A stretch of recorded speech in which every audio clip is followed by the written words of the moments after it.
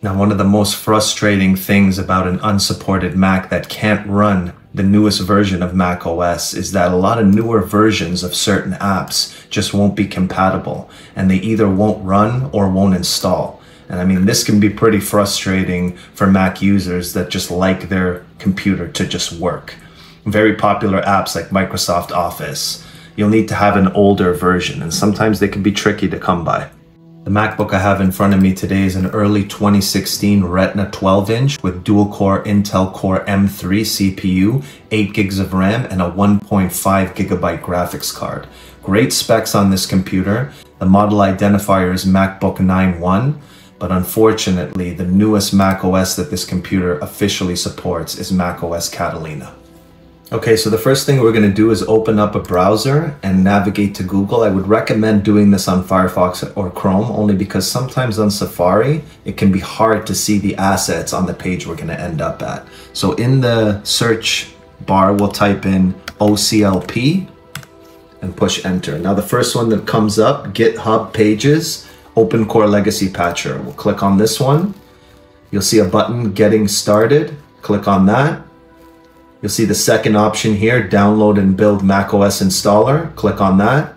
Open Core Legacy Patcher Release Apps. Click on this one. Now the newest version at the time of filming this video is 0.67 of OCLP Open Core Legacy Patcher. So we'll scroll down and you're going to see these assets here. This is why we're using Firefox because sometimes these assets just won't load on Safari. So we're going to click on this one Open Core Legacy Patcher GUI. Okay. Now it will download and once it's downloaded, we'll open it. Okay, so now we'll click on this to open it. You can close Firefox. Now you're gonna see here, Open Core Patcher. Now we're gonna wanna move this to the Applications folder. Okay, once it's in the Applications folder, We'll open up the applications folder and navigate to it double click on it.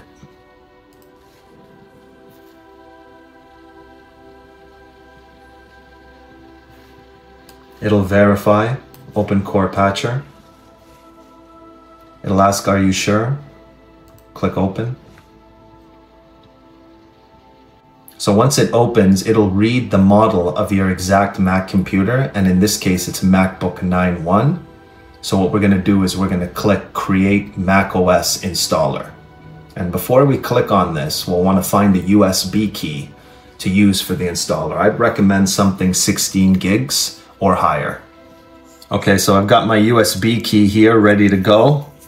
And I've labeled it OCLP just to keep track of it. I'll plug it into the computer.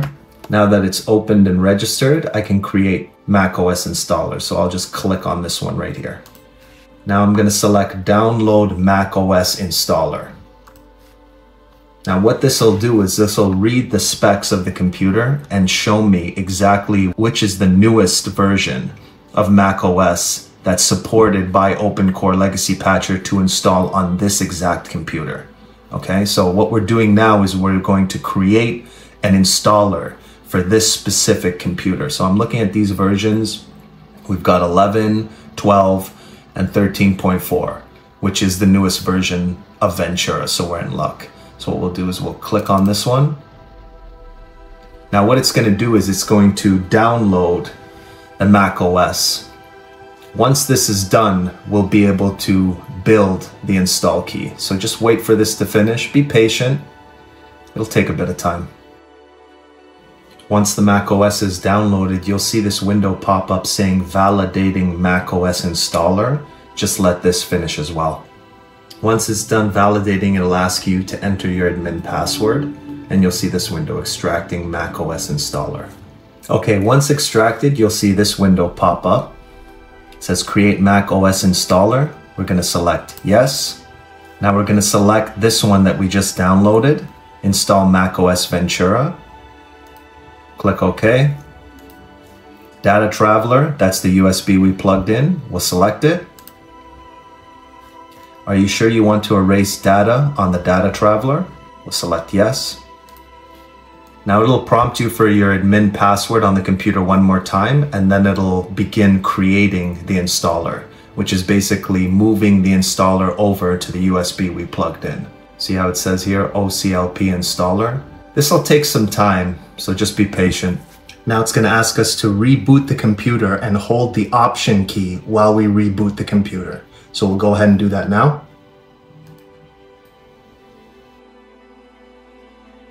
Now I'm gonna hold the option key while the computer is booting. Hey. and we're gonna select this option here, EFI boot. And we'll continue holding the option key. Now this one will pop up. We're gonna select install macOS Ventura. This window will pop up. It'll ask you to enter your user password in. Now that we're here at this screen, we're gonna select disk utility Continue.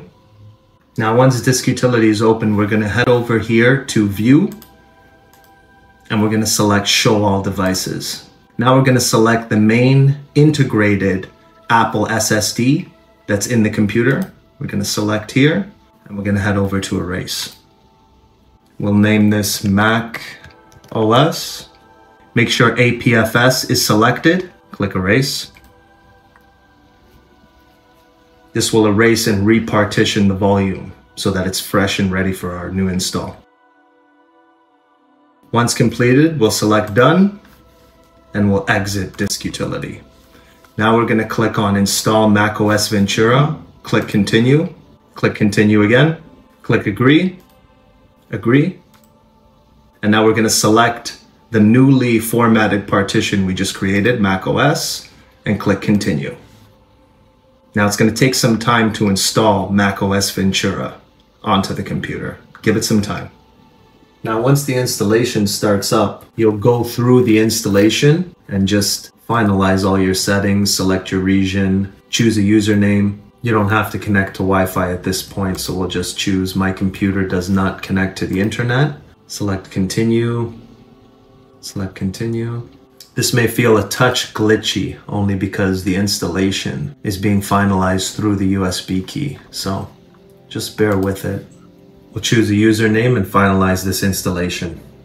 Now once the desktop for macOS Ventura loads up, Give it a second, don't touch anything. You're gonna see a window is gonna pop up and that window will be asking you if you'd like to install OCLP on the internal SSD that's inside of this computer. Now this time we're gonna select the internal SSD, which in this case is disk zero Apple SSD.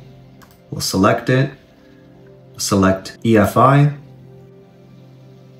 It'll ask us to enter in our password now, once this is done, it's gonna ask us to reboot. We're gonna click reboot and we'll hold the option key as soon as the screen goes black. Holding the option key now. Okay, so you see now it's gonna give us a bunch of different options. We're gonna select EFI boot on the far left with that little icon that kind of signifies an M.2 SSD. Continue holding the option key when you push enter. Now we're going to select Mac OS. Perfect. So now we'll enter in our password and we can go ahead and eject the Mac OS Ventura USB volume from the computer. So now what we're going to do is we're going to open up OpenCore Legacy Patcher and we're going to click here on post install root patch and we're going to click start root patching. It'll say OpenCore Legacy Patcher needs you to relaunch as admin to continue. You will be prompted to enter your password. Click yes, enter in your password. It's going to relaunch OpenCore Legacy Patcher as root. And what we're doing now is we're installing the graphics card patches so that we can get those transparent menus and so that everything can look a lot more normal than it does now. Click OK. I'll say here background item now it's going to ask to reboot to apply. So we'll select reboot. I'm going to go ahead and select the one on the left that shows the OpenCore Legacy Patcher symbol. And now it only gives me the one option, macOS. So click enter. Now we can see everything looks a lot more normal than it did before. We'll enter in our user password. And now we're in business. Close this one. We'll open up OpenCore Legacy Patcher just one more time to make sure that all the post-install root patches are installed, but I mean, we can already see here that we've got the transparent menus, we've got the transparent bar at the bottom, post-install root patches, root volume last patched June 12th, 2023, which is today's date.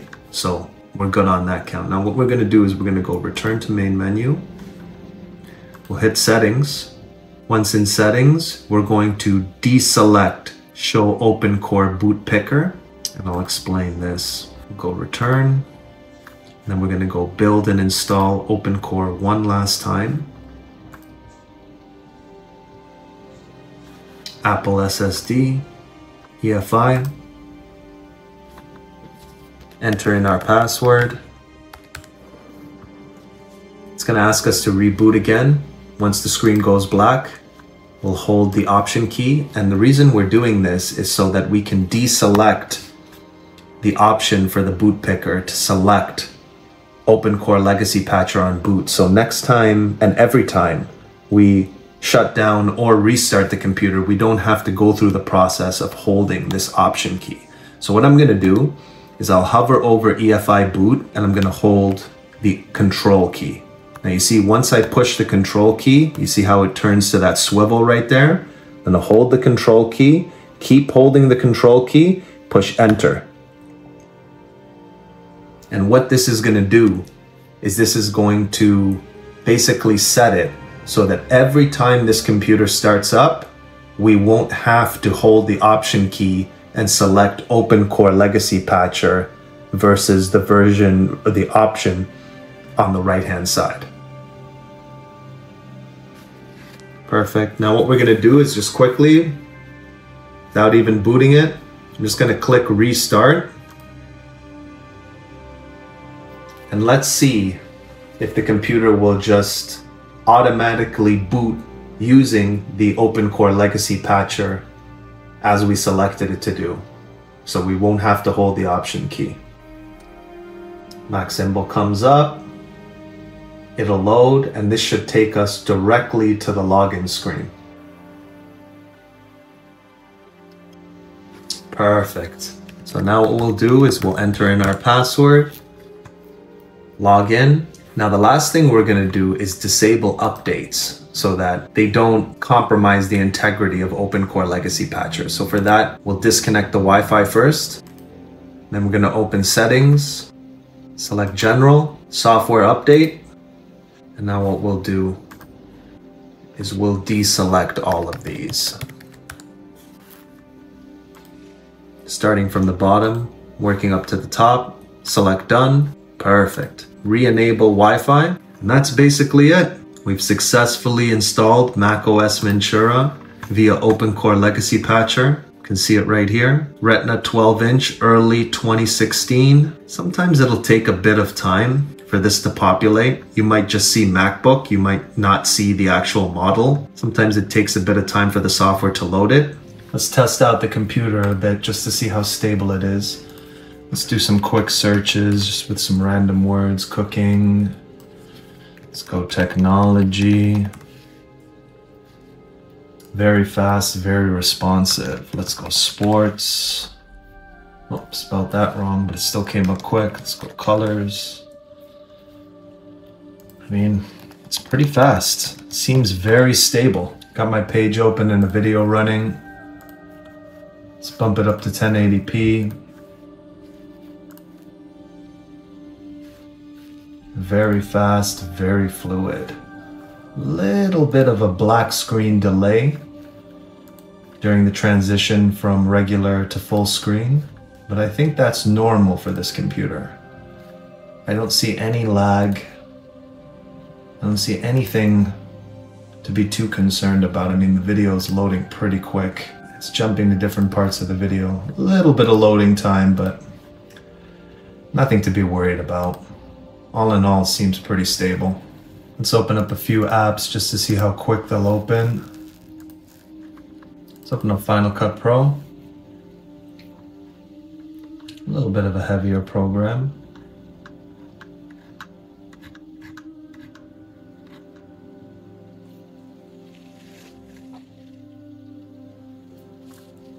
I mean, for 2016, that was blazing fast.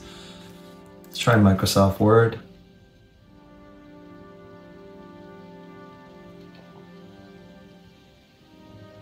And that's it. You're good to go. Hope you guys found value in this video. If you did, please hit that like and subscribe button and stay tuned for more tech related how-to tutorials, PC, Mac, iPhone, Android. Appreciate all the support. Stay safe out there, guys. I'll see you in the next one.